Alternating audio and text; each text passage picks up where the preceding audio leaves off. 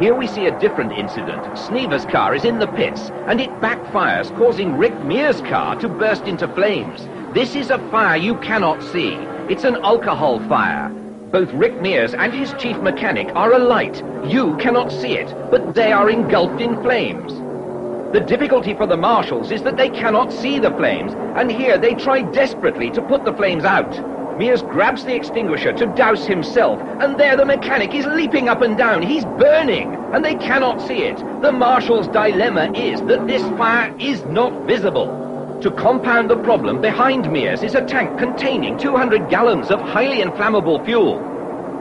We still see the marshals desperately trying to put out the flames on the chief mechanic. They cannot see these flames. It really is a terrible problem.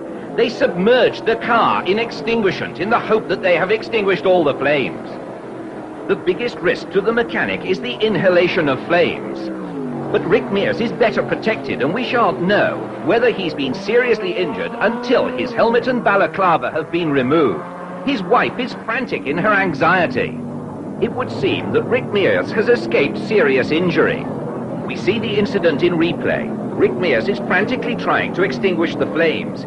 He's helpless without a fire extinguisher.